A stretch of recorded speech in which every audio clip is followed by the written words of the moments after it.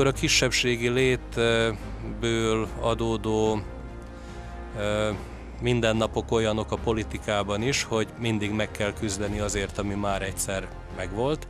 és semmit se adnak ingyen, illetve semmi sem magától van. Az, hogy nem adják ingyen, az alatt azt értem, hogy mindig meg kell küzdeni azért, ami már volt, és ezért fontos, hogy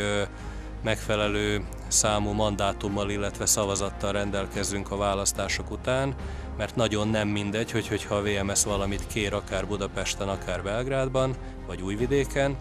akkor ezt 30, 40, 50, 60 vagy 70 ezer szavazat birtokában teszi, mert hogyha azt látják bármely fővárosban, hogy a vajdasági magyar közösség egy személyként áll a VMS mögött, és a VMS követelései teljes egészében az összmagyarság követeléseinek felelnek meg Vajdaságban, akkor sokkal könnyebb ezeket az ügyeket elintézni.